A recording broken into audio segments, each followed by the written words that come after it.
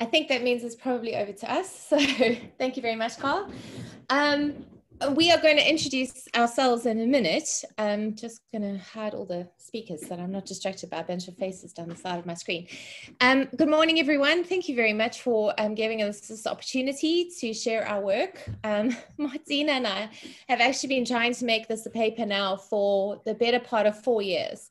And um, we've had some very kind um, audiences at LCT UK and in South Africa, and then also in the Nordic um, LCT group who've given us some useful feedback, and we're hoping for more of that today because it's finally becoming a paper. So we're hoping that um, for those people like Stephen and Vera and Rieta and Cove heard a version of this before, you'll hear something different.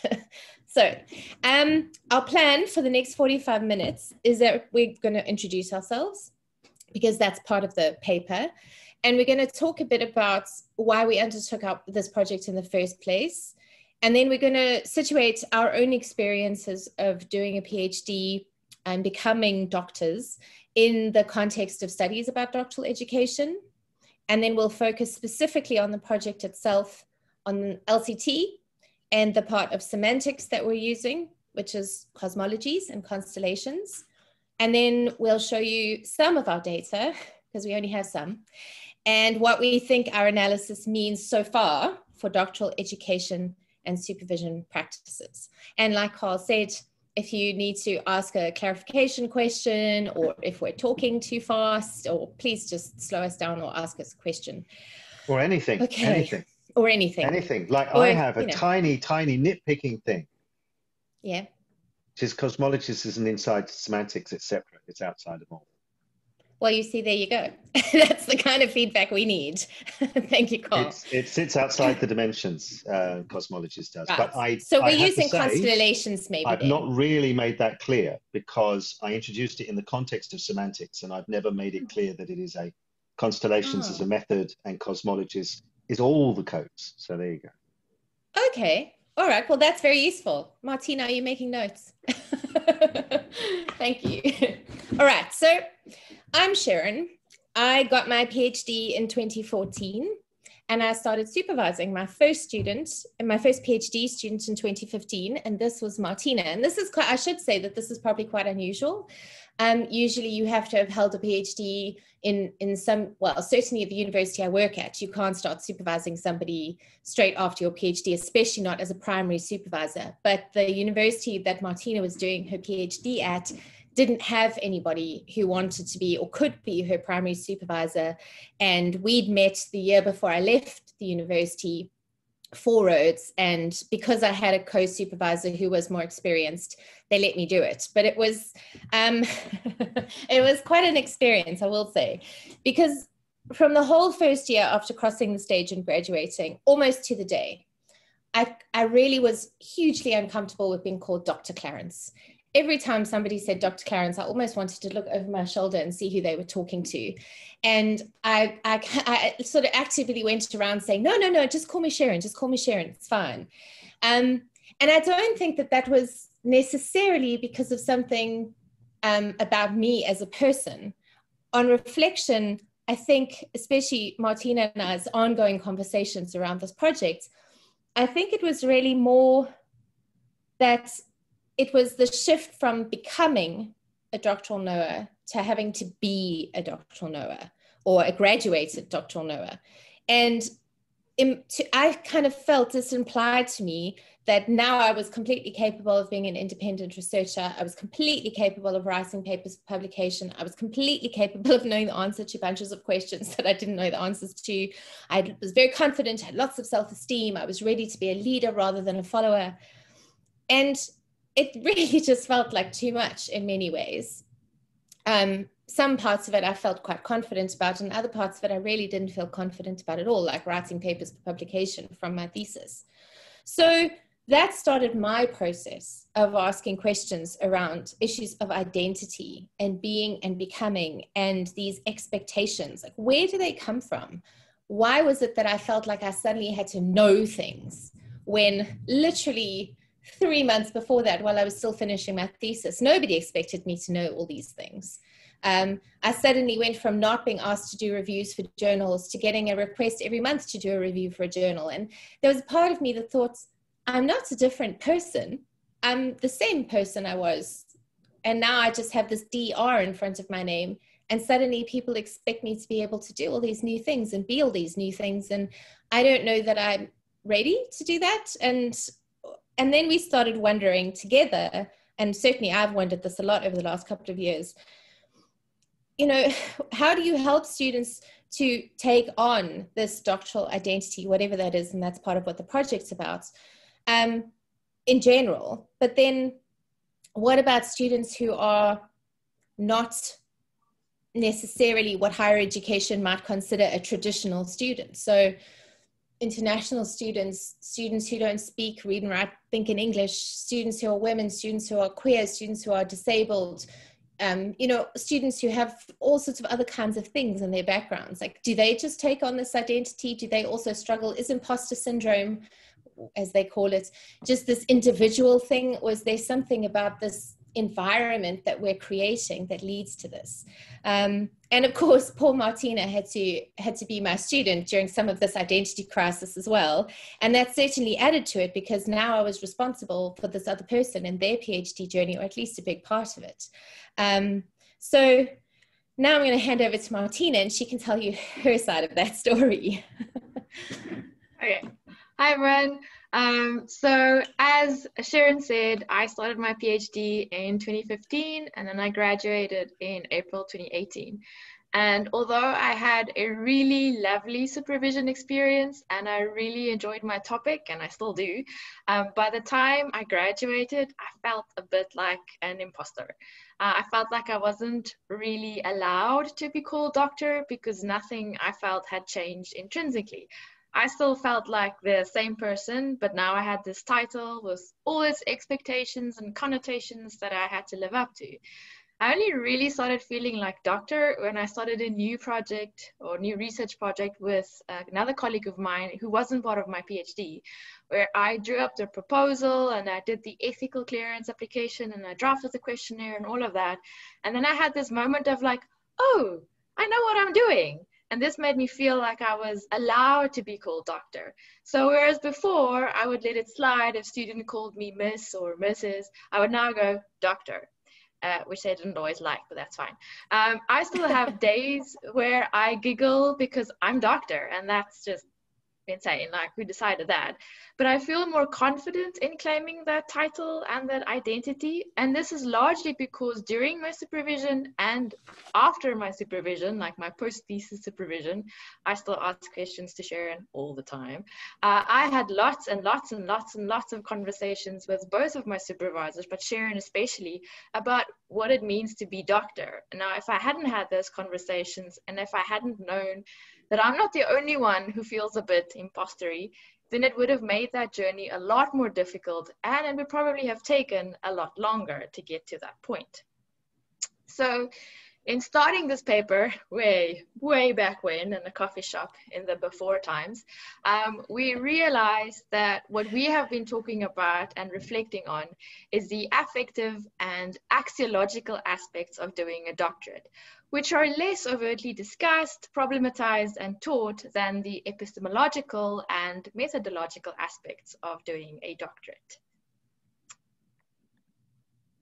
Okay, so before we look at what the field is saying, we want to acknowledge that there are different paths to a doctorate, which may therefore have different implications for identity development. However, in this paper, we are focused on doctoral students who want to remain in academia in some way, whether this is where they end up or not. Um, this is their intention and what therefore shapes the kinds of studies that they choose to do, the supervision they're offered, and the help they receive with writing and publishing and so on. Moreover, the stakes may also be slightly different in academia than in industry around the PhD it is increasingly difficult to get and keep and progress in academic roles without PhDs. Um, and this may not exactly be the same in industry with professional doctorates. Um, there are also implications around becoming supervisors and academic leaders that impact on the process of becoming on the uh, and on the expectations of being after the doctorate. So, having had these conversations, we then turn to the literatures to see how our experiences and questions are being researched and thought about there. And some of you may know that I myself am part of the um, grey literature space because I write a blog on becoming and being a, um, a scholar um, at this level. And there's a lot uh, out there in the blogosphere and in the, I think, what they call the grey literatures. But we decided really to focus on peer reviewed papers because there was just way too much if we didn't narrow it down. So, um, what we were wanting to read about in the peer reviewed research was the kinds of affective, axiological attributes or dispositions of doctoral students that supervisors, especially, but not only, value and expect their students to evidence in supervision, in writing, in the engagement with their doctoral and research community, and also in the actual process of designing and doing the research and creating the dissertation. And then in some cases, especially um, in contexts that have a viva voce, in defending the thesis um, once it's completed and has been examined. So we're reading quite a lot, as you can imagine. If anybody knows anything about this field, it is quite a big field and there's lots and lots of research. What's interesting about it is that a lot of that research comes from what we call the global north um, New Zealand, Australia, the United Kingdom. Um, there's a fair bit of research that's been done in Australia and Canada. Um, sorry, Canada and America as well. I said Australia. Um, and there's less research. There's not no research, but there's less research that comes out of South America, Africa, um, and we're not obviously looking at studies that have been published in any language other than English because that's the language that we are confident reading and writing in. So, what we're finding as we read is that there are both explicit and implicit mentions of the valued and also undesirable dispositions and attributes of successful and unsuccessful PhD students. And what we're finding really interesting is how the affective aspects are situated in these studies. So, in a study where the, um, and this is a general trend, there are obviously exceptions, but this is a general trend. In studies where the explicit focus of the paper is like how to successfully write a PhD or how to successfully um, deal with hard feedback or how to successfully um, do a particular kind of research. So, what we would then think of maybe in terms of um, LCT is the more knowledgey stuff or the more epistemological stuff. Um, there's definitely affective stuff happening there, but it's implied and between the lines more often than explicitly named, defined, and explained. So if you take Margaret Kiley and Gina Wisker's works, they've done a lot of work on um, adapting um, Meyer and Land's threshold concepts um, and looking at the PhD journey and what kinds of thresholds PhD students have to cross in order to achieve what Trafford and Leshem originally called doctorateness. So, um, not just being able to write a thesis, but being able to become a different kind of scholar through that process. And they have found through interviews with supervisors and through looking at students' work and talking to students as well that you have to cross thresholds around working with theory, around um, claiming um, space in the field, around making an argument, around um, writing a literature review, which also has to do with claiming a space in the field. So that's lots of epistemological stuff. How do you incorporate theory into your work? That's a big threshold students have to cross. They have to be comfortable working with theory. But what's implied in that paper, well, actually, it, we're going to show you some data from Margaret Kiley's paper, but Gina and Margaret's work as well implies confidence. And I see this a lot in my work with students, especially writing for publication.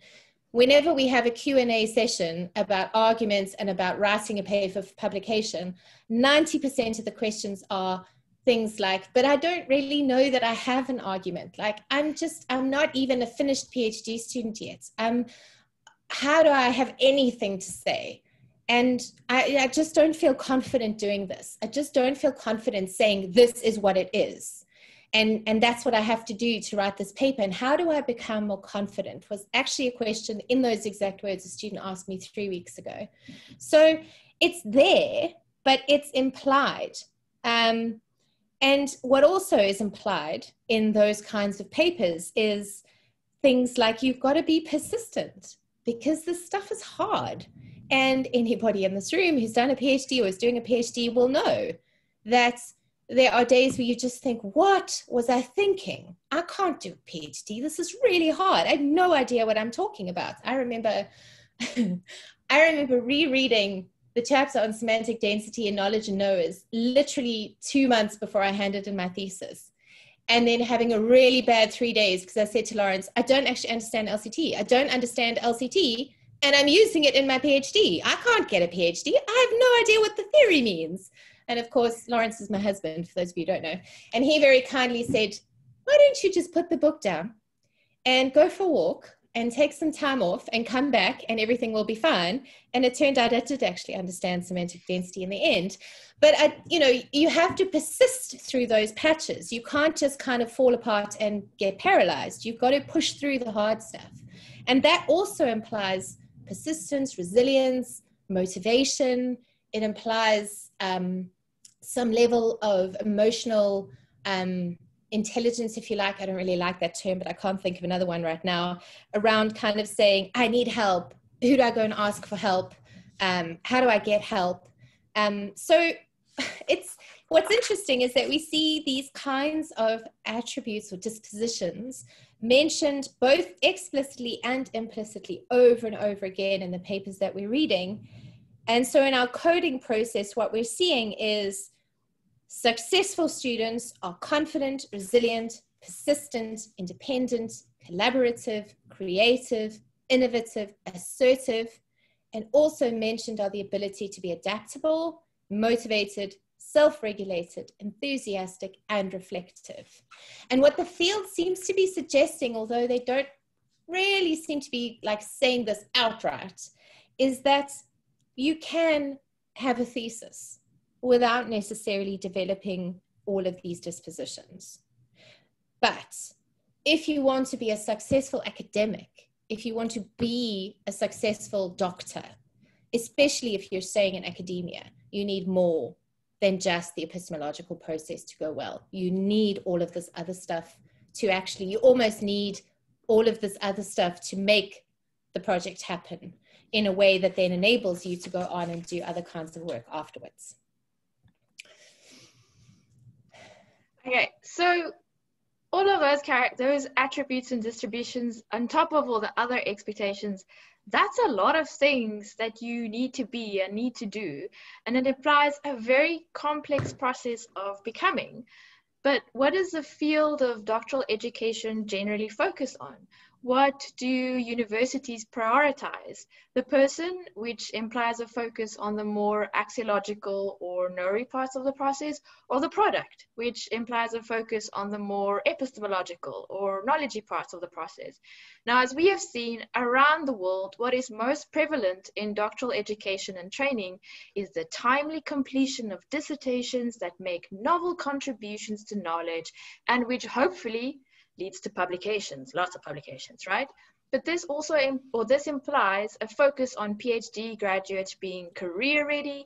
Um, and in this study, that means uh, graduates who are able to do independent research, uh, publish their papers, supervise their own students, engage in academic life in a range of ways.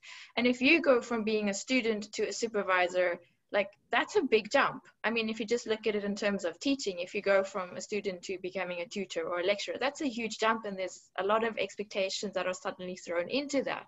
Um, but what this does mean is that this creates, if it's not focused on explicitly and helped and taught and everything, then this creates a cycle where what is predominantly valued is the product of the research over and above the researchers themselves.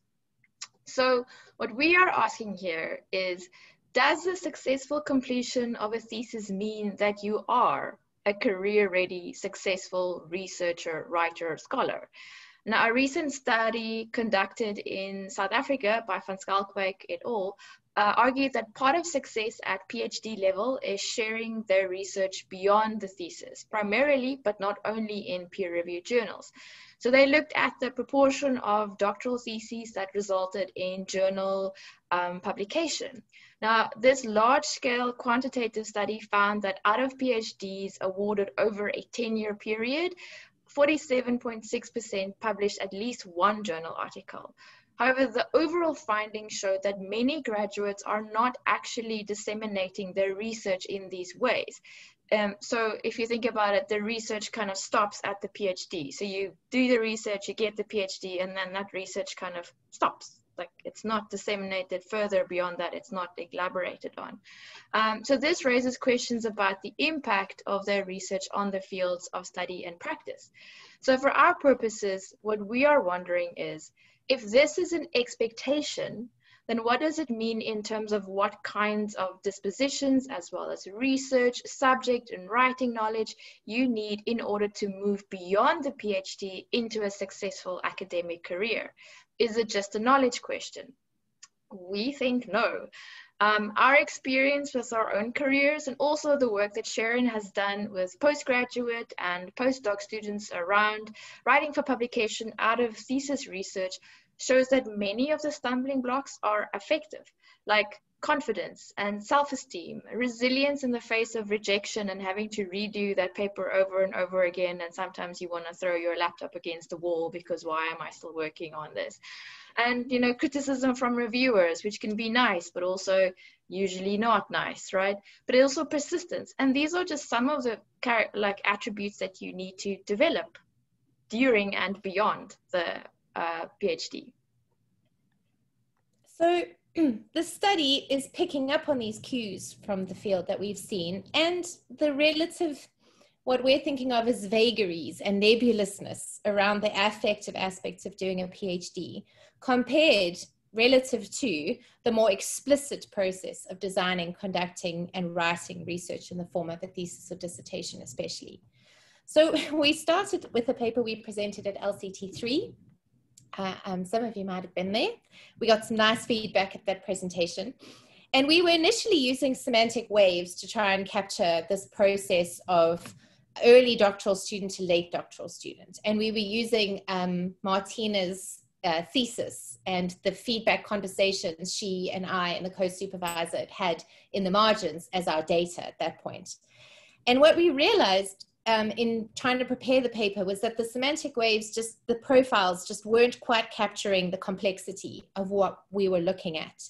And so we started drawing things that we then realized look quite a lot like clusters. And at that point we didn't know very much about constellations at all. Um, so now we've turned in earnest to this this um, other tool from LCT, and specifically the concepts of axiological semantic density for now and axiological condensation. And very specifically, we've been super inspired by Elena Lambrinos's work on developing dance and dancers because this has, as we see it, quite a few parallels with developing doctoral theses and doctoral researchers. So at this point, and this is really where we also need help because um, I want to tell you, man, this stuff is hard. I've, I've, done, I've been working with LCT for a long, long, long time now, and this is really Martina and I go round and round and round. So we hope we're not telling you things that are not true, um, but this is our understanding of what we're doing at this point in time, and we're drawing on um, Lee Rusznyak's um, chapter in the I have it next to me here, the Building Knowledge in Higher Education book, which came out last year um, Karl Maton and Yaegan Doran's work, their early um, working papers, but also the chapter in teaching science that's just come out, and Eleanor's thesis. Um, and this is underscoring our understanding of constellations at this point. So Karl argues in Knowledge and Knowers in um, chapter nine that cosmologies are powerful because they enable us to see social practices in joined up constellated ways. So what we what we found really helpful about this is that it's helping us to see a range of different practices in connected ways rather than in discrete ways. And what we're hoping to be able to get to is that we're able to then distill or or um, characterize a set of organizing principles that guide the creation and deployment of um, the constellations. We're going to show you a constellation or part of a constellation in, in a few minutes. Um, in a way, in so the deployment of these constellations in ways that shape the kinds of knowers and the kinds of knowledges. So for our purpose, what we're moving towards, we think, we hope, is a cosmology around doctoral education that contains or that is made up of different joined up constellations that then speak to a set of organizing principles that says these are the kinds of doctoral knowers we value and want to produce and want to reproduce and want to create and nurture. We're not quite there yet, but we hope we're moving in that direction. So, following Maton and Doran's 2021 chapter in Teaching Science, out now for those of you who want to buy it, a constellation is um, made up of groupings of nodes, which may include clusters. And clusters are groupings of nodes. So a node is a practice or belief or attitude. And these can be related to one another into a cluster. And then you can, it seems, either join up clusters into a larger constellation, which we're going to show you for our study, or it seems like also nodes can be joined up into a constellation. And then these can be more or less condensed in terms of how many meanings are packed into them. So condensation, um, which we know from the dimension of semantics, uh, semantic density particularly, is the process of adding meanings. So how we are applying this right now is in relations, relation to adding meanings to nodes, which is creating clusters that then have relative strengths and weaknesses of axiological semantic density. So meanings around the being and becoming stuff, not around the knowledge stuff. Um, and this analysis, using this analysis, um, also enables us to see that some practices are desirable, which means that they're positively charged in the literature. They're good. You should be like that. You should do that. And then other practices are negatively charged or undesirable in that context. So those are the tools that we're taking from Constellation so far. In addition, um, we're looking at axiological condensation. So there are two forms of condensation in um, this, um, it's not a dimension, this part of LCT. See, I, I think, get stuck on I think words. the way of saying What it would it be called? that you're going to Oh. you're going to explore two forms of condensation because there Okay. are many, many, Okay, many. There are as many forms of condensation are, as there are combinations of code modalities. Oh, so dear. minimum 256. Okay, wait, so just ignore that. We're going to change that. We're exploring two forms of condensation. We're actually exploring one, but we think the other one's important because um, in doctoral education, these two things are almost impossible to separate, even in the papers that specifically focus on emotions and things like that. It's always in relation to writing a dissertation, actually doing a PhD. So we have axiological condensation, which relates to the building of the knowers. Um, for those of you who know specialization, this seems to be related to social relations. So the knowery stuff. Who are you becoming as the specialized knower in this context? And how are we building that person?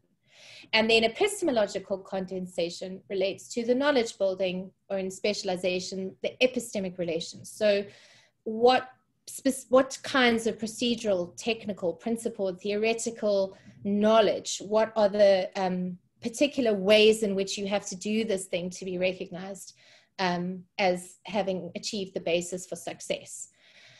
And the process of condensation is adding meanings to these symbols and practices that are part of who you become and also how you know what you know. Um, so we're really interested, obviously, as you can hopefully tell so far, in the axiological dimension of all of this, in the meanings that are added to the affective stances or attitudes or beliefs um, that seem to signal a successful student and an, and then by contrast an unsuccessful student.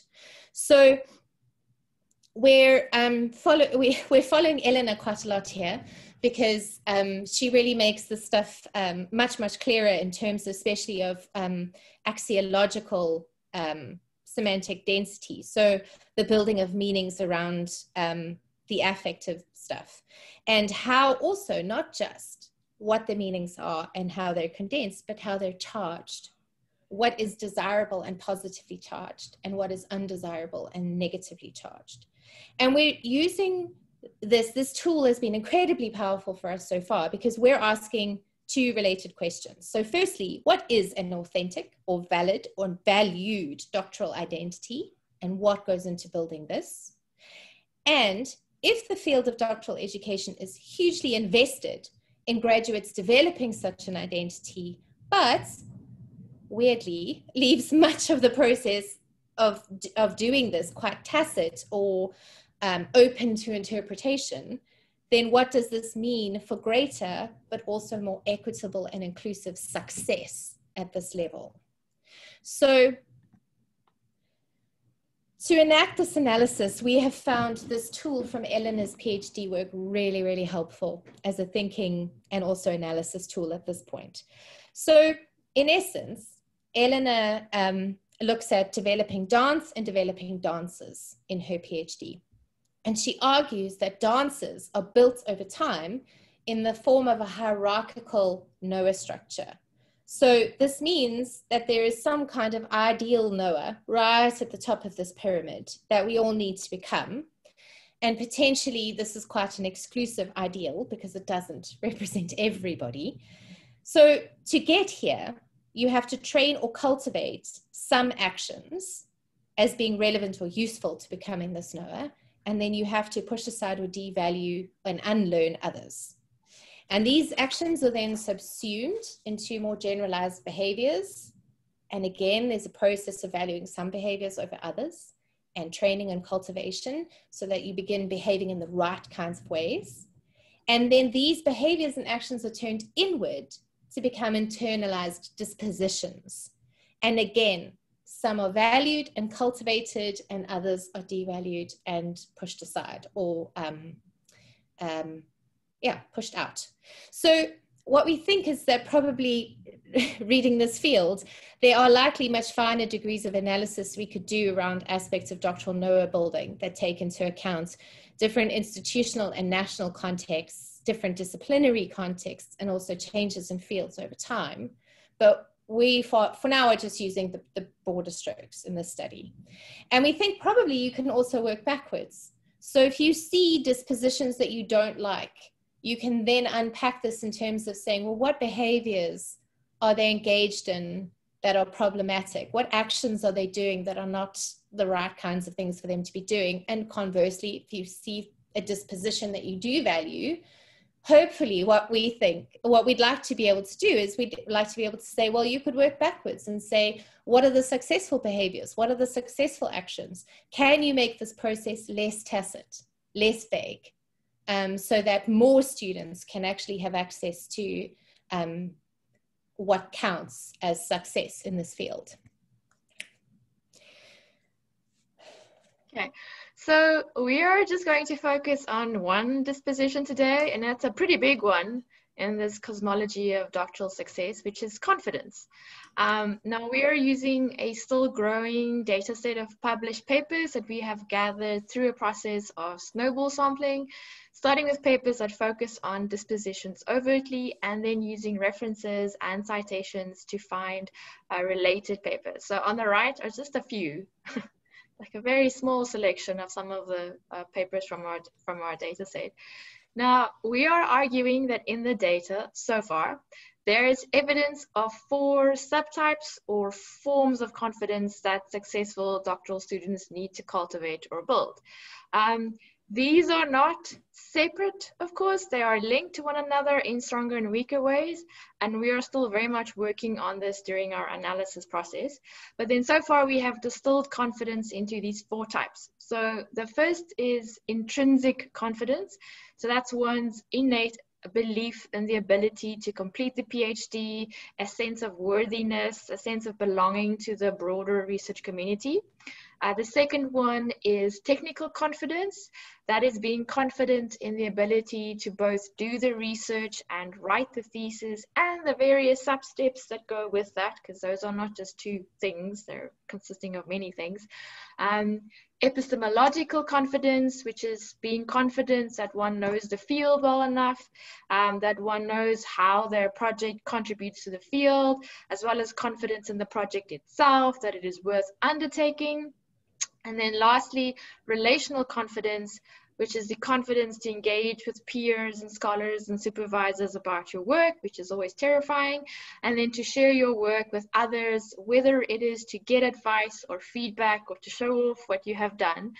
Um, however, these don't exist in isolation. They are relational. So intrinsic confidence will feed into technical and epistemological and relational confidence, while epistemological confidence could feed into intrinsic and technical and relational confidence. And then moreover, as we will show eventually, confidence itself is interlinked with other dispositions and vice versa. So everything is kind of like smooshed together. So mm. now I will show you a little bit of how we've gone about coding this data. For today, we are only focusing on the first two forms of confidence, so intrinsic and technical, mostly because we don't have time for all four, and also because we haven't actually written up the other two yet. So we're going to focus on two for today. Disclaimer. yeah. okay. So this is a snapshot of our raw data. It's long, it's a long and ever increasing table in Google Drive.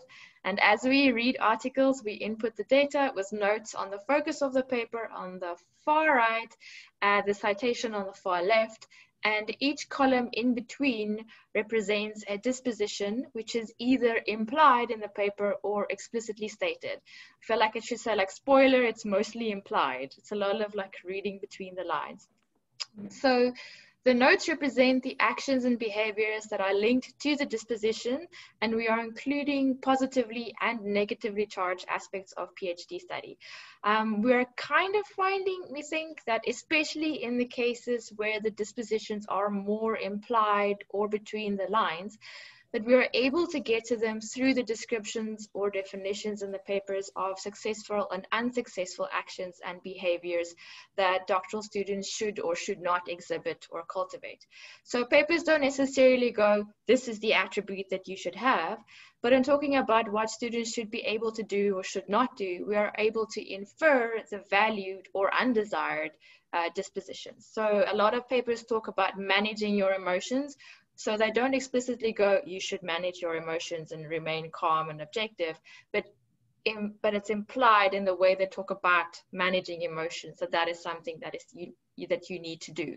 Um, an example Sherran used is like nobody tells you don't cry in supervision, but it's kind of implied don't cry during the super like when you meet your supervisors, for instance. So yeah. Mm. So I suppose in that case, crying would be an undesirable action, and being overly emotional would probably maybe be part of the behavior. You mustn't be very, you must behave in a very calm way.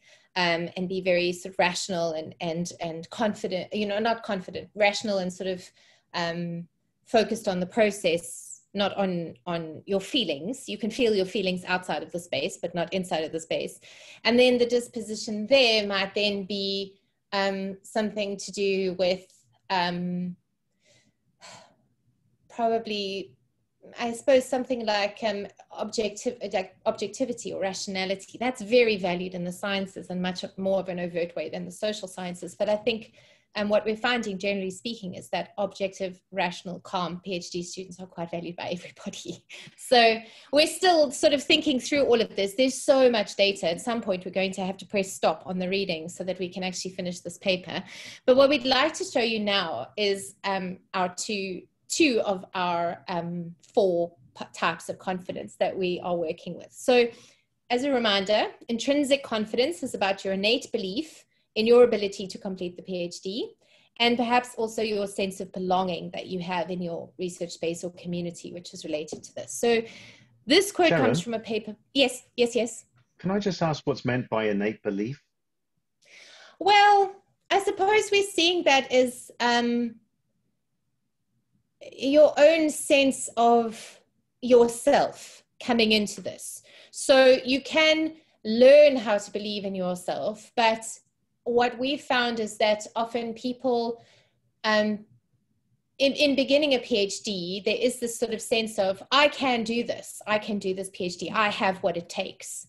Um, so maybe the word innate is a bit of a problematic word, and we'll come back to that in the paper and define what we mean by that. But essentially, what we mean is um, something that you carry in yourself that you kind of can tell yourself, you got this, you can do this, it's going to be okay, just keep going. Um, that's sort of what we see as intrinsic confidence. Oh, is it, is, that... is it then is it then perhaps like that it's confidence about uh, directed at a particular kind of focus or something? Um, uh, innate suggests to me like uh, invariant, unchanging, in, essentialist. Um, right. And I don't know. no, that's not what we mean by it. I know you just said, but I don't know how to distinguish note. the. Uh, I don't know how to distinguish confidence that's about yourself from confidence about. Well, if it's confidence about your knowledge of something else, then I guess it's um, uh, they're externally directed kinds of confidence. Mm. Like you know, epistemological is an externally my confidence mm. about my knowledge of this area, whereas right. this is my confidence about myself as a. So I suppose these are different things they're focused on. Yeah, that's a confidence note, about confidence about focus. this, confidence about that, confidence about the other. Is that the oh, difference between them? Yeah, no, that's quite helpful. Yeah, it probably is actually. Because we'll the reason why I'm that, concerned but... about it is because confidence sounds to me like it is entirely and always from within. Internal. Yeah. yeah. So that trying to make one of them intrinsic suggests to me that the others are not. But so maybe it's, it's, a different focal areas. Yeah. So like you know my confidence about my my directed knowledge towards, of directed towards. you know okay. like sociology as opposed to my confidence. Yeah, that's I okay. suppose about myself generally. I suppose I don't know. Yes. I'm just trying to figure no, out what those differences were. That's a good note. Um, actually, that's quite a helpful way of thinking about it. So, okay, if we're going to recast that just quickly, then this would really be a focus on um, the self and your ability to do this and why you went into the PhD in the first place. And I suppose it's sort of self talk um, that you engage in when you are struggling or when things are going well. Um, you know, we all have conversations with ourselves all the time. So I suppose that's kind of what we were thinking about here. And you see that a little bit in the data quote. So this quote comes from a paper by Lynn McAlpine and her colleagues, and it was looking at narratives of doctoral neglect and struggle. So this extract comes from um, a narrative about a student they call Randall. And um, the emphasis we've added around what we, what we think um, it relates to actions, behaviors, and dispositions um, that appear to be both positively and negatively charged in relation to one another. And some of it's stated and some of it's implied. So I'll just um, read this quickly in case it's a bit small for some of you. While Randall has been accepted in this new department, the fact that his topic was controversial and his research setting physically dangerous caused departmental members to urge him to change topics. However, with the eventual support of his supervisor, Randall carried out the proposed research. Since returning from his fieldwork, Randall's supervisor has taken lengthy leaves of absence. In the first, Randall was left virtually unsupervised. In the second, sorry, somebody has their microphone on.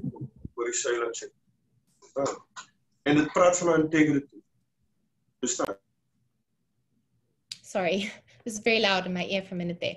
In the first, Randall was left virtually unsupervised. In the second, he created an arrangement with two other supervisors, both carefully selected to avoid the discouragements he had previously experienced. While behind schedule, Randall is confident he will finish and describes the whole process as affirming.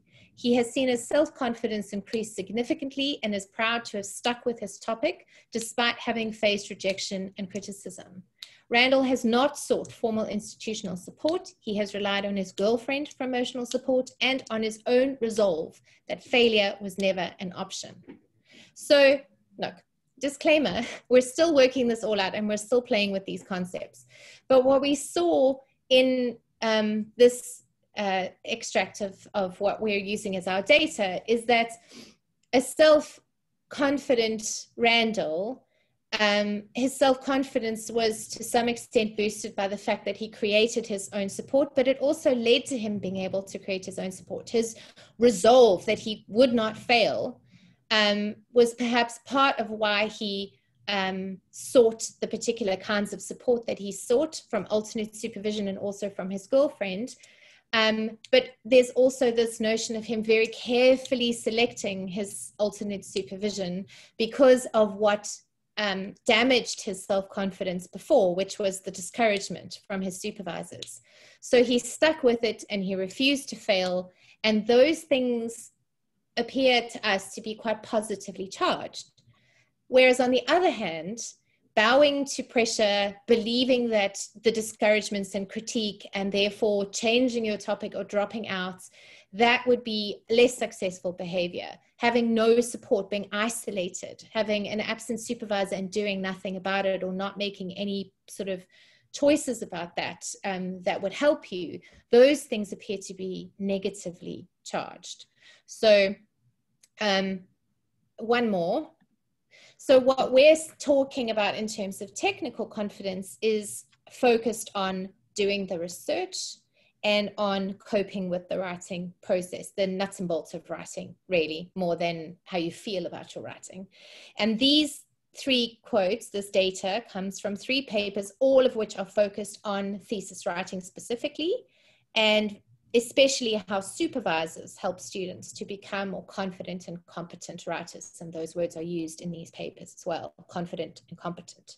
So, again, the emphasis is added around actions and behaviors and implied or stated dispositions. And, and these we think probably might change a little bit because every time we read these quotes, we see different things. Um, so, here we go. And um, this is from Margaret Kiley's paper being stuck in ways that can be counterproductive and perhaps even destructive to self confidence and self esteem can have serious consequences for learners. For example, losing the will to remain with the program and the ability to complete in a timely fashion. It is not uncommon for learners, prior to full understanding, to mimic the language and behaviors they consider appropriate for the understanding with which they are struggling. However, it is when mimicry extends past the learning phase and becomes a proxy for learning that difficulties can arise. And then from Barbara Kamler and Pat Thomson's book on um, doctoral writing, helping doctoral students write, I think is the name of the book, Pedagogies for Supervision.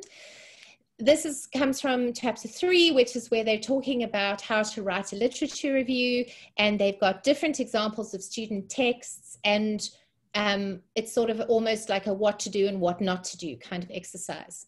So this is a summary of two of the texts that are regarded as what not to do. In both Geraldine and Vera's texts, the literature is used neither to locate their studies nor to advance an argument about the state of the field in order to make the case for their own work. This is characteristic of diffident scholars who lack authority and who are literally overwhelmed by the work of others and then finally, from Claire Aitchison and Susan Mowbray's work on managing doctoral emotions, which talks very much about women doctoral students and their struggles with writing, particularly. Negative experiences were often framed in terms of a lack of institutional slash supervisor support for writing, as well as my principal supervisor was very difficult to work with, which made the thesis writing experience so stressful. When students enjoyed the writing, they generally described satisfaction at developing skills and confidence. Quote, the enjoyment actually comes, so the enjoyment comes from actually finding pleasure in writing and upon reflecting on your writing progress. So what we saw here, and these are not complete because um, actually every time I read these quotes, I see other things, but what we see as this sort of more negatively charged cluster is around this diffident scholar, this scholar who behaves in a diffident way. And she's overwhelmed. And because she's overwhelmed to some extent, she can't take any pleasure in the writing because it's just awful and hard all the time. She's mimicking, but to the point where it's become a proxy for her learning. So it's actually detracting from her confidence because she's becoming stuck and she can't make any progress. And she, as Kiley says, she knows there's something she doesn't know, but she can't get at it. And so she just feels stupid. Um, and also, in terms of the writing, she's not taking an authoritative position. She's not actively locating her study in the field. She doesn't have her own argument. She doesn't have a case for her work. And she looks a little bit like a broken marionette, but that was accidental. I was just trying to draw it on the space that I had on the page. And then the positively charged cluster is a student who behaves more authoritatively. So, to some extent, um, she uses this authoritative position to become more skilled at writing. And because she's more skilled, she doesn't have to mimic for too long. So she can move past the mimicry phase into authentic learning and writing, and, and uh, confidence is related to that. Um, she takes pleasure in the writing because she's not hugely overwhelmed. So she can make progress. She's quite satisfied with how well things are going. She's taking a position in respect to the literature. She's got an argument. She's making a case for her work. So this obviously um, is a lot more valued. And it's related, I think, also probably when we start um, drawing this, it's so difficult when you're trying to do a 7,000 word paper with all of these complex things. But we think also linked in here is probably um, some some stuff around persistence and also potentially resilience because those are definitely implied in some of this um, in some of this data. So back to Karen, Martina. Sorry, it's Carol here. Yes. Hello, Carol. Hi. How's it? Hi. Can I just ask a question? I'm, I'm, um, I like, um, could you discuss why you've called that technical? Because to me, technical Oh. refers to kind of like actually being able to use APA citations correctly and that sort of Ah. stuff. To me, it seems much more epistemological about because your authority in your writing is located within your um, uh, confidence in the knowledge and the position that you're putting forward. So I don't I, know. I don't, um, I, I also Martina going say a similar sort that. of thing, um, which is that Okay. technical would suggest to me confidence in the knowledge of the technicality of a subject area. Right. Mm. So I was Martina, you wrote this bit. Can you answer? Sherran? Martina going to wrote this bit, so she needs to answer it. Well, at the time, because I was thinking about it, because it was more about the the nuts and bolts, if you like, of doing research, of writing. So like the actual writing and engaging with feedback and stuff. And I also played around with procedural confidence. So I mean, this is still very much, as we said, like a work so in this is why we need this Yeah. feedback. Yeah. So Avoid we, we procedural kind of- because of its um, it, it's confusing with procedural knowledge as a category used by the people. Processual is not used by anybody, and it's about process. So you could use processual, confidence. okay. Processual confidence. but technical Thank you. suggests knowledge of the technicality. So I'm with Carol on that. But I think you mean the confidence in the process of how you do things.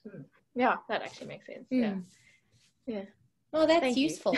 Thank you. Yeah. See, this is why we wanted to come to the round table, so you guys could help us. Thank you. That's Okay, what we're supposed to do Martina. as a community, help each other. Yes, exactly. No, no, this is great. This is what we need. Okay, Martina, this is you.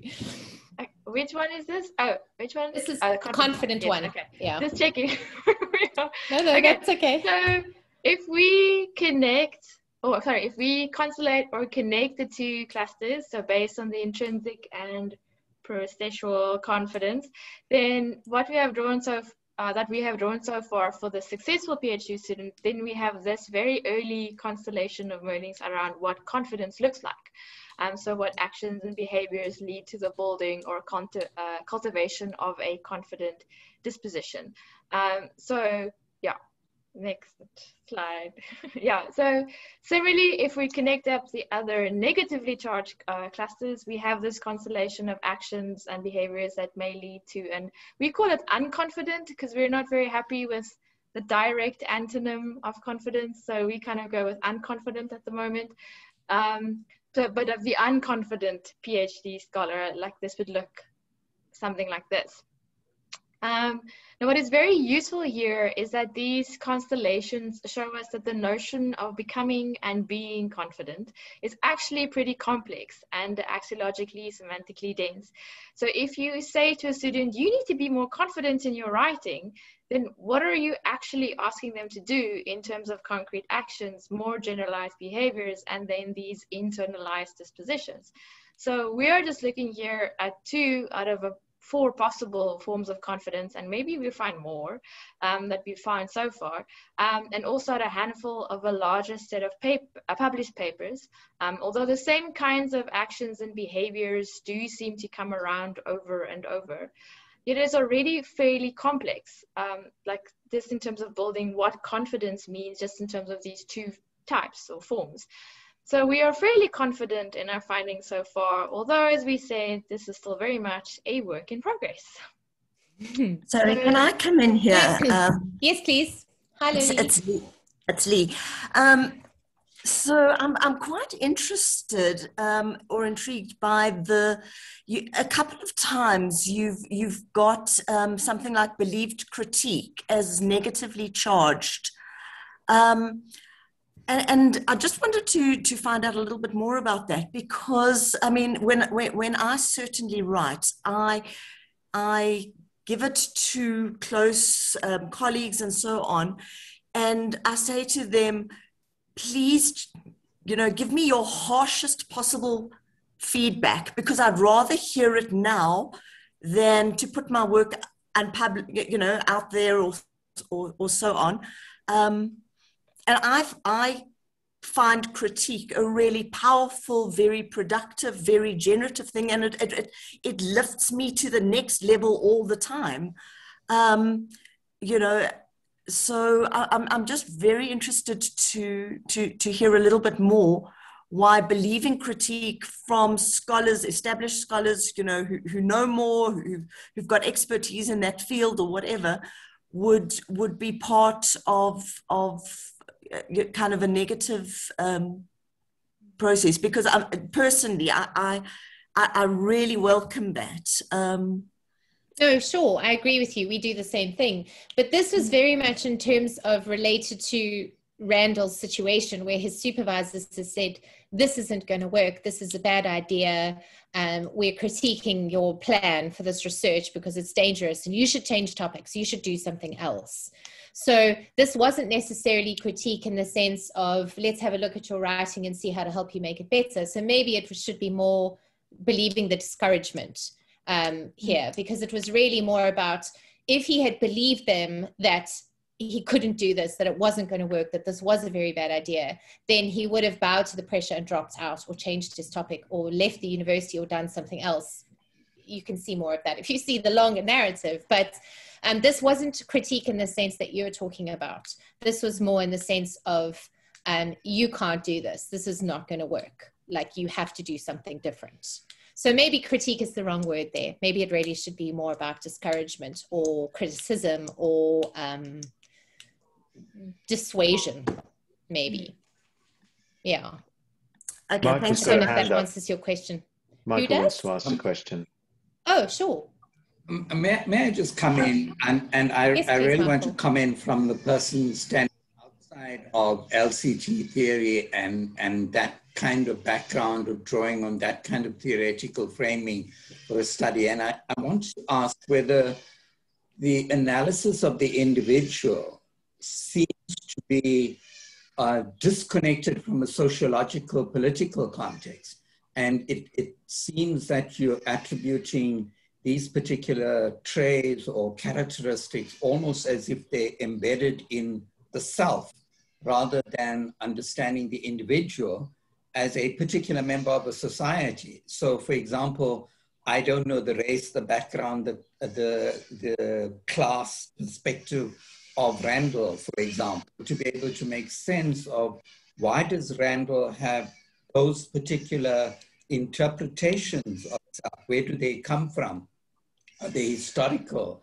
Are they sociological? Are they political? So I think for me, what I'm hearing the constellation to be very much circumscribed by a personalistic dimension rather than a dimension that locates individuals within a broader sociological framing.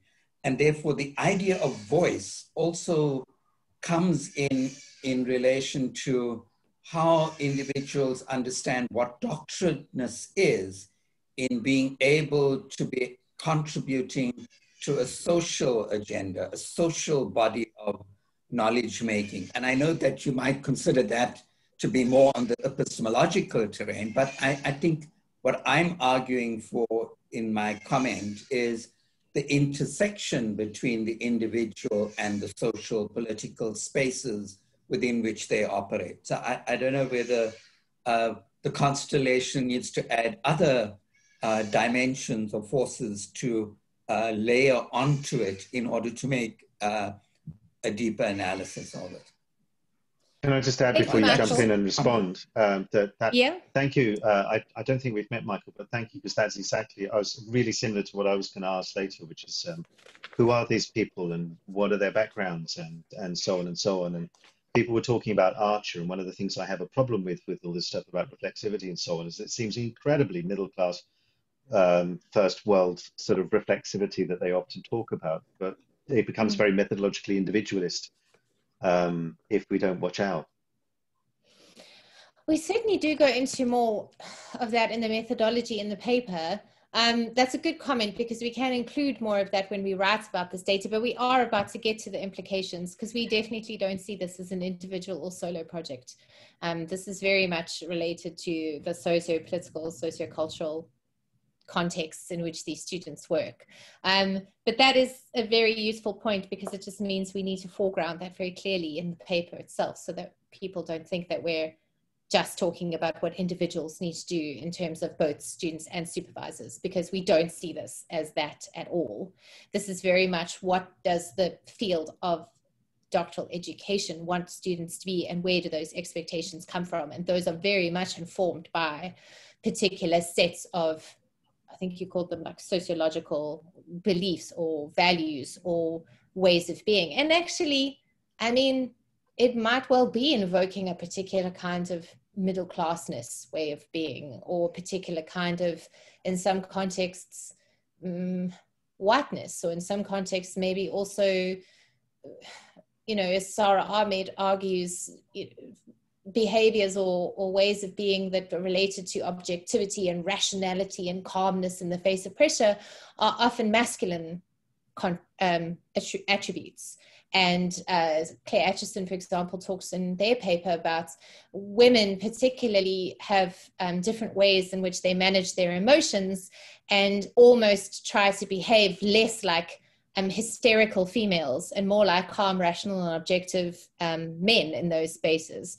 And so there are definitely characteristics. I'm looking at this in, in related research in a larger project. There are characteristics that are masculinized and feminized. And the feminized characteristics are often negatively charged, and the masculinized characteristics are positively charged.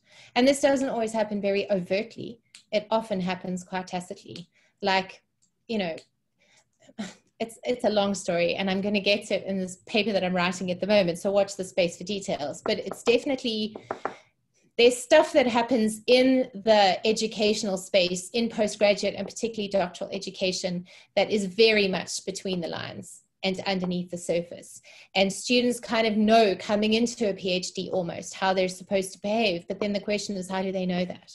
Did somebody come out and tell them this is how a successful student behaves what is going on in that space that just communicates to us particular ways of being? Like how is our behavior cultivated? How are our actions um, censored by our supervisors um, so in some cases it can be quite overt if the supervisor wants to talk to you about what they think um, a good phd is in their field and how phd students should behave and what they should do and what kinds of things they value but nine times out of 10, I don't think that that is, I mean, it wasn't overt between me and my supervisor at all.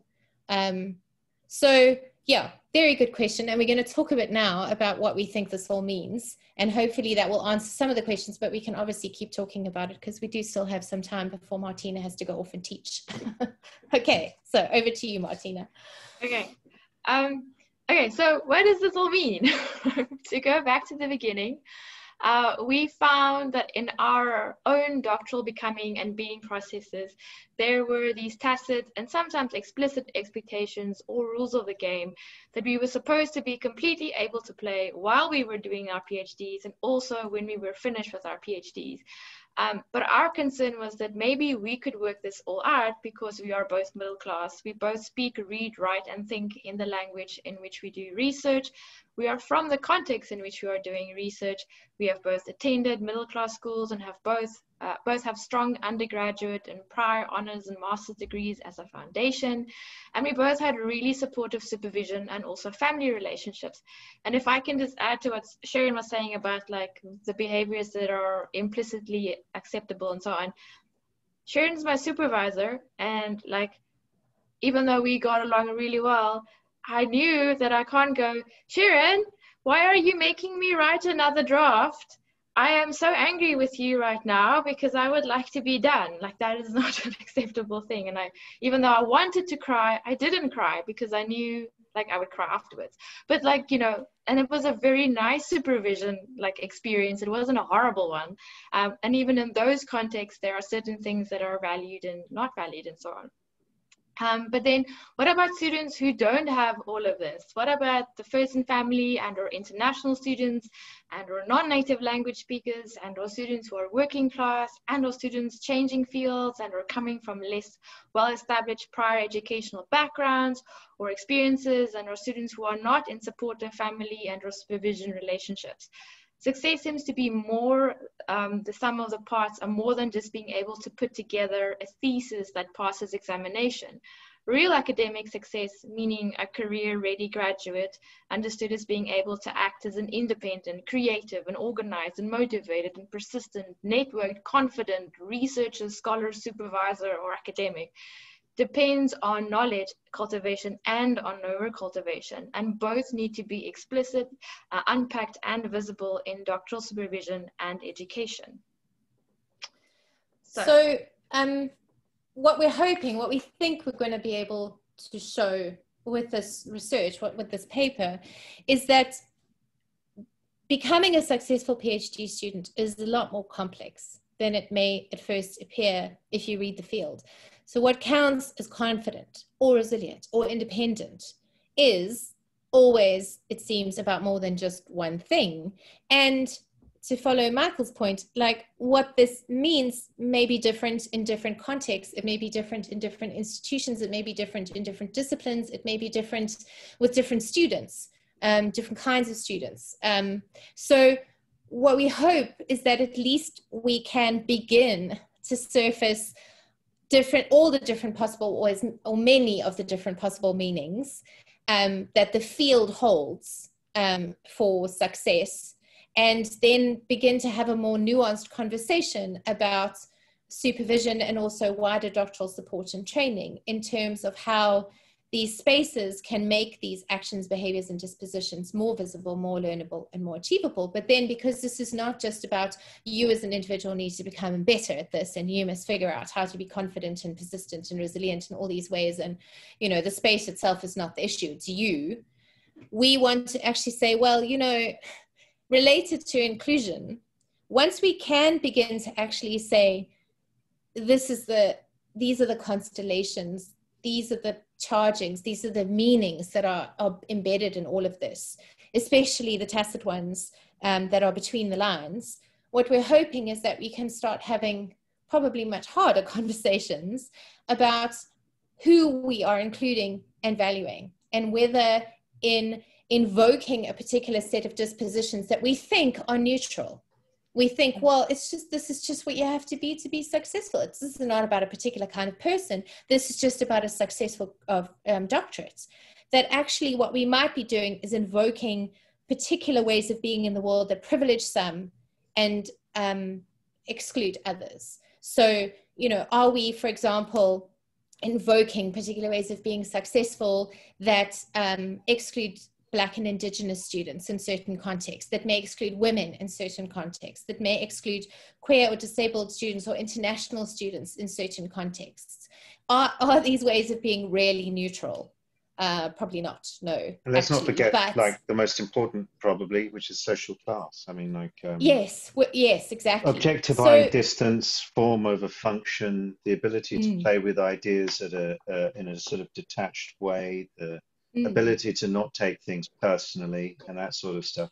All those are incredibly uh, associated with the um, with the bourgeoisie, with the middle class, and the, oh, for and sure. the educated, particularly the cultural bourgeoisie, not the industrial, the, the yeah. cultural middle class, and the ability to stand back and kind of play with ideas with as if you're using very large tongs or chopsticks and they're at a distance, you know, and they're not um, they're not like something that just reflects immediately on you. As an incredibly uh, cultural middle class attribute that one has to learn to succeed at or to at least pass at if you're going to be successful and not be seen as a very prickly person because usually it's psychologized. Nobody says mm. often at my phd level nobody normally says oh well don't worry about uh, social class is quite hard to see often but they say no don't worry about Karl. It's it's because of his uh, working class upbringing it'd be more like oh he's just a psychologist you know he's like a really prickly person or something like that you know so social class is also an issue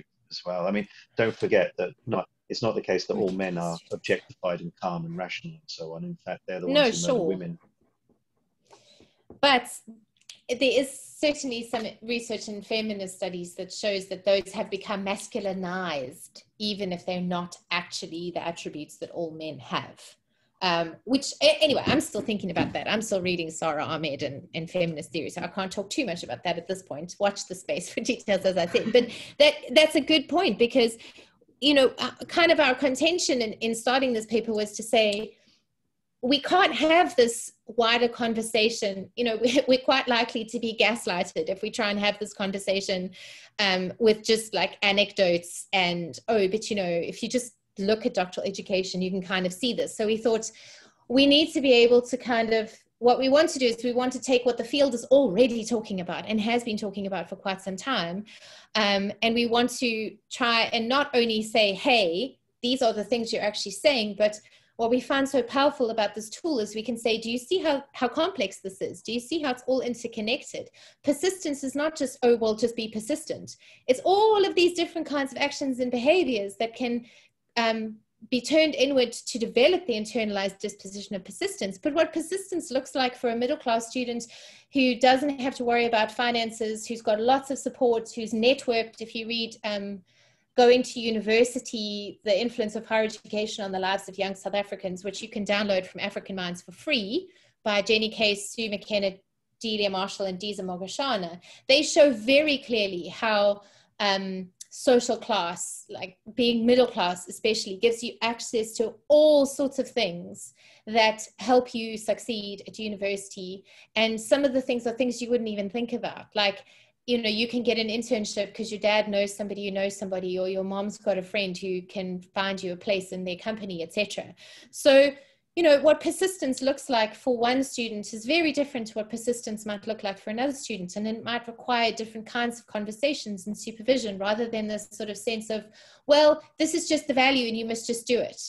Um, and if you can't do it, then there's something wrong with you. Maybe you shouldn't be doing a PhD. Not to go back to Michael's question, there's actually something wrong with this environment. This environment is valuing a very exclusive way of being an ideal PhD student that is not representative of the vast diversity of students who are doing PhDs and who are quite capable of doing PhDs, but they're made to look like they're not capable because what they bring in terms of their, if you like, social capitals is not valued um, in the same ways or at all compared to other kinds of ways of being that are valued. So, what we're hoping is that and we, we kind of feel like this paper is a first step to just say what you're actually talking about is quite complex and what you're talking about is also related to ways of being in the world that come with students into this space and uh, we have to start problematizing this rather than continuing to present this as just a kind of neutral set of dispositions that are related to success as if success is one kind of thing and not quite a complex concept. So uh, we've had some comments and conversation already, but um, Martina has to go in a few minutes because she's got to teach, but I can hang out for a little bit longer if people have um, comments and questions. Yeah, we have a few minutes um, uh, to go. Uh, if people just I'm jump in, stop people. Sharing, Carol, Carol, that's please, okay. just jump yeah, in. thanks. Uh, thanks, Karl. Thanks, uh, Sherran and uh, Martina. I was just thinking about the South African perspective. You know, I think I think this focus on axiological stuff is really, really important, and it was just make me thinking. you know, in South Africa in the last 20 years. So there's been this huge emphasis on increasing the number of PhDs and thus a huge intake of PhD students, not enough supervisors. Supervisors mm. are overloaded. And I think in that, in that sense, what it means is that supervisors then don't have the time and often the energy yeah. because you're now supervising 10 PhD students instead of only three or whatever, it's very hard, I find, to actually have the energy and the, the kind of, um, yeah, I don't know what else to call it, the kind of emotional energy to engage. It is emotional energy, I think. Yeah. A lot of that dispositional stuff, you know. So I think for the the emphasis on, on, on what supervisors need to do is really, really hard and it's not being yeah. acknowledged um, I think the cohort stuff can can really help and is very important in order to create communities of practice that can um, model the, these kind of ways of being because I think a lot of it is tacit and it's not easy to just speak it out. A lot of it is about seeing how people engage with each other. How do you see colleagues working with each other? Um, working with ideas and, and all of that sort of stuff. But I think the way in South Africa, because we've kind of pushed this numbers game, uh, we really, really have focused on product and not sufficiently on on on process and and and person. Yeah. And uh, yeah, to me, it, it, it I've always thought about the kind of work we need to do about supervisors and not yes. only just uh, just students. I don't know if anyone's doing that work, but anyway, just a just to put it out there. But thanks for. No, thank for you, Carol. I'm going to make a note. And before I add, because several people have got their hands up, I just want to jump in and say um, that's really interesting, Carol's good point. When I had a cohort, I had four finish at once, five in a year, and I had loads of people at once. I mean, now I have uh, very few, almost none, so nobody wants to be supervised by me, but uh, anymore. But I, they'd almost killed me, and it almost killed them, having them all finish at once. But we had weekly meetings. I don't know if Kirsten's here, but she's written about it recently, and hopefully it'll come out. Kirsten wanted how... to come, but she got locked out of her house, so she's ah, not here. so well, yeah. we uh, this is for another time, but um, we had a weekly S Club thing, which which was intended to try and do that, to do to deal with that labour and model mm. and so on and so on, uh, peer as well, not just me. But uh, I think uh, Namali had a hand up, and um, I don't know how to say it. Birut also has a hand up. So normally, do you want to start? Because I thought I saw your hand first. Just jump in. Yes. Yeah, no, I just um, I'm going back to the boring sort of analysis stuff, Sherran. So yeah, away from all these amazing discussions, which I think are really, really pertinent because I remember, you know, social class is completely um, shifted when you're an immigrant, right? You're taken, you take on a whole new meaning when you come to a new context. So I remember being. Mm from privilege to coming to uh, Australia where people would peer at me lovingly and say, Oh, darling, you speak very nicely. Um, and I'm like, But I'm a native speaker of English. And suddenly I was a non speaker of English. What? It's not my first language. I'm not bilingual. But yeah, so that's a, that, it's yeah. really but I think also I, I like one of the things that I love about constellations is it's showing you exactly what you talked about, just a snapshot of what's going on within that field and all the discussions within it that can be biased, that can be excluding certain things. And when you, it's only when you start to map it out that you can, you know, see what the um, shortcomings are in a sense. I think with actually trying to deal with the data, um, maybe what Karl mentioned earlier, uh, who or what is that particular emotion or thing that you've identified as being evaluative aiming towards? So is it the supervisor right. student the student's own emotions which are internal? So uh, you know or, or something like i have confidence as opposed to i am confident about something or something triggering that confidence? So trying to um, maybe group things together clusters in according to those kinds of what or who is being evaluated. Mm. No, that's a good point because our initial analysis, which we have kind of discarded, but maybe should go back to, is we had these kind of internal and external dimensions. Mm. So, mm. internally, what's happening with persistence, and then externally, how do you see a persistent student? Or, um, so that was that was the first sort of constellation we drew on a piece of paper, and maybe we should go back to that. Thank There's you. That's um, you know because I'm doing notes. it myself right now, so it's just driving me. I know what you mean. So for me, I have to systematically go through what is Mm. the evaluative item and what is it targeting and then i can see what the group item. so then I begin to see, okay, so you've got certain things grouping around the student, confident, not confident, um, you know, uh, what, you know, you had things like tenacious or not tenacious. So things like, are they persistent or not persistent versus how they're viewed by their supervisors. That's something different, that's externalized. Um, as you put it, and then also how they feel towards certain things, their thesis, the process, the emotions, um, so I feel like that, that that might make it, I don't know, more complex or more simple for you. No, that's really useful feedback, ma'am. Thank you so much. I really appreciate that. One, I'm scribbling start- lots of notes here. when you get into it, it just gets really, really tricky. And I also think that I saw in your analysis, and I'm not sure about this, um, but there were seemed to be two levels of, um, you know, you were talking about in Elena's um, PhD. So the difference between the generalized versus the generalized persona of the individual. Uh, what should a PhD student be? That had its own set of categories of um, analysis, and that seemed to be the authorial, uh, author, Mm, the author of the paper. Do you know what I mean? So the paper's authors are saying, this is how we're interpreting this individual student's instance. And then we're giving you this little bit of evidence from the individual student's story. So Right, there's yeah. versus specific level there. I don't know how you deal with that. Okay. No, we'll think about that though. I'm going to make a note. Can I just um, can I just jump in and because I um, Spirit's had a virtual hand up for quite a while. You want to Sorry, jump in? Thanks, Oh no. no, not at all, Emily. Don't worry. Oh, look, Sherran, I just said th- I'd like to say thanks for the talk. I really thought Thanks, a lot Mary. about different things, and um, yeah, I've got some. I've just wanted to build a little bit on what Karl and Carol were talking about with supervision and grouping um, some of these um, characteristics together. Uh, we've got a in our institution, Charles Darwin University in the north of Australia.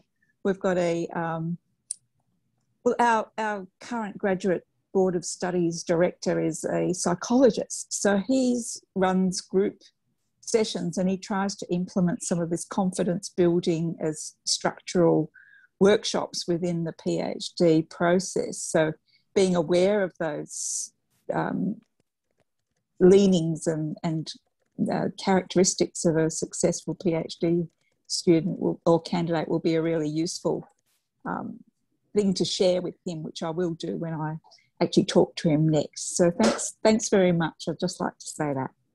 Oh no, thank you. I appreciate the comments.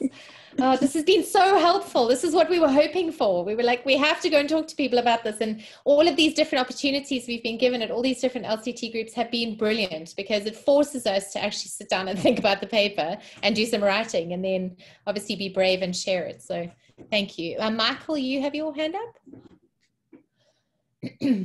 I, I was wondering, Sherran, whether the um, the framework that you set up of looking at process, product, and person um, identified the interconnection between those three dimensions.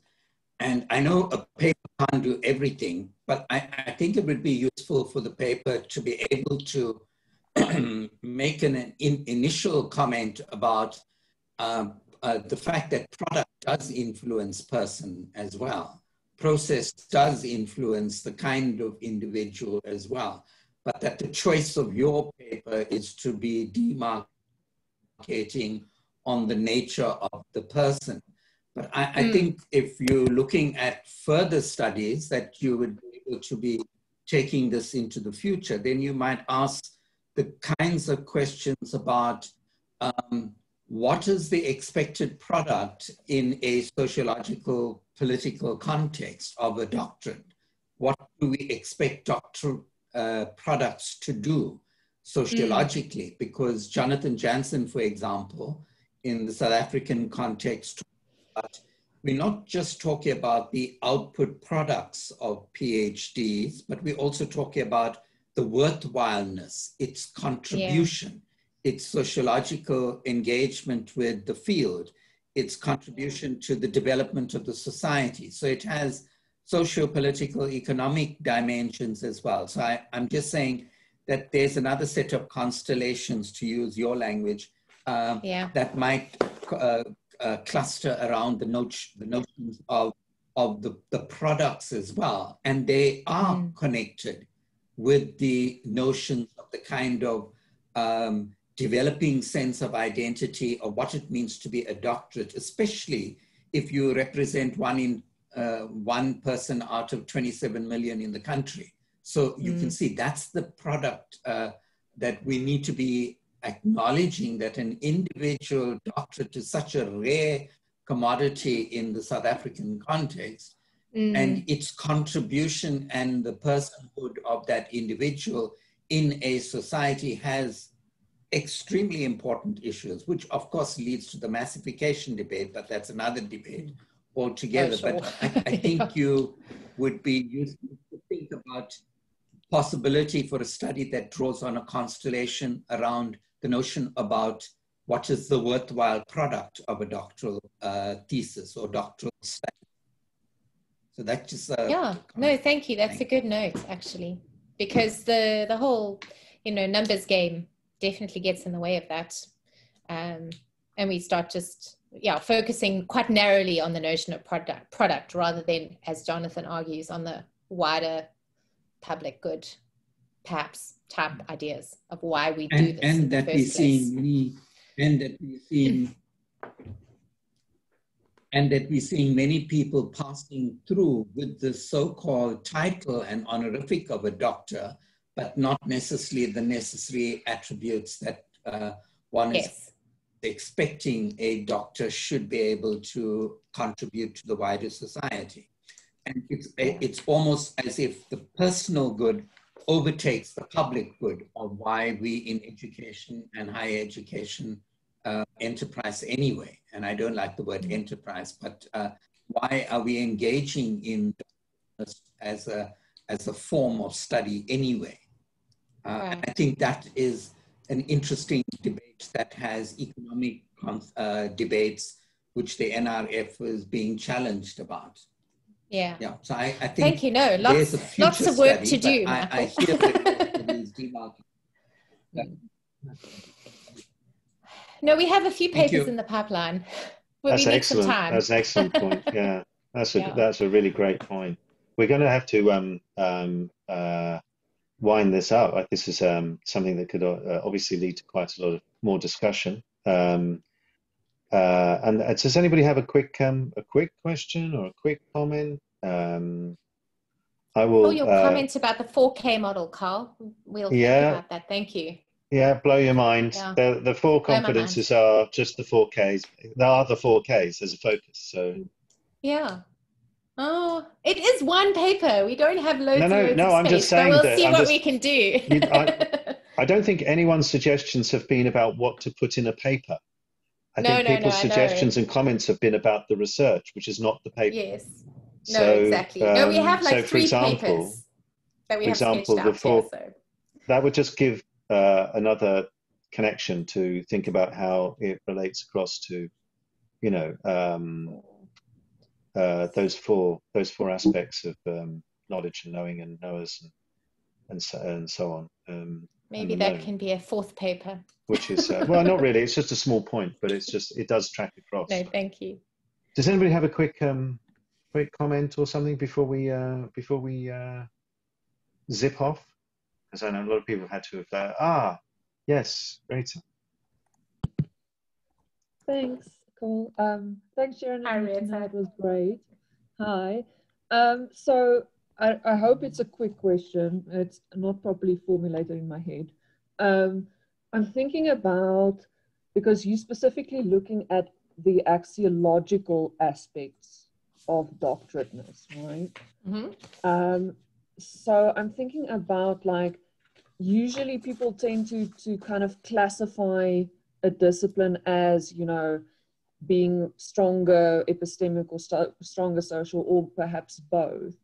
But it seems to me that what you're saying because obviously this will apply to a lot of different disciplines that you're looking at it's almost like there are are different there might be strong epistemic relations in the discipline that the student the doctoral student is working with but at the same time strong axiological aspects um, in becoming the doctor, you know, um, developing that kind of identity. So it's almost like there's different levels at which this is is working at at the same time.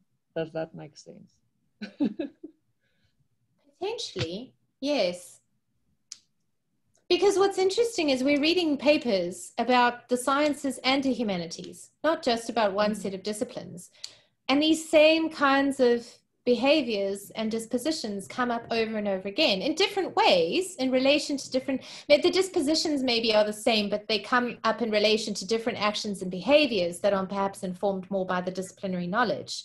But hmm. ultimately there does seem to be this particular set of dispositions that while they may be enacted in relation to different behaviors and concrete actions in terms of the writing and doing the research are valued in terms of being able to say yes this is a successful graduate. This is this is a doctor. So mm. i mean but eh, we're still reading and we're still thinking and we're still debating the data because i see things martina doesn't see and she sees things i don't see. And so we're still in that process of backwards and forwards sort of talk, thinking about what it is we're actually looking at. But um we got to a point where we were stuck. So we thought the roundtable would be really good at getting us unstuck, and it is. So thank you all very much for your feedback. This is fantastic. We now have a whole lot of more things to go and think about and talk about and write about. So, and we really, really, really, really want to get this paper done now because it's gone on for far too long. thank you. Thank you, everybody. Um, we should uh, call it to uh, close now. Will so we... yeah, um, Steve's made a really good point in the chat, but the Mauricio will be saving the chat and then sending. Oh, thank you. Yes, you. I was going to ask that. We'd love, yes, we'd love absolutely. to see the chat. Thank you. Yeah. yeah. Um, and uh, at some point in the future, we upload this to YouTube. So uh, thank you everybody for being here. Thank you the presenters, both of them for. Thanks um, everyone for uh, for their paper and uh, everyone who contributed and uh, by being here or asking a question or making a comment or whatever. So thank you very much everybody for being here. It's a great international community and I hope that you can feel that you can join in and, um, don't worry, there's no such thing as a stupid question at all, um, ever. So thank you to everybody and thank you to uh, Sherran and Martina and I hope to see you here next week for LCT Wits, doing a, a really fascinating uh, roundtable next uh, next week. So thank you, everybody. Thank you, everyone. See you next week. Bye. Thanks, everybody. Bye.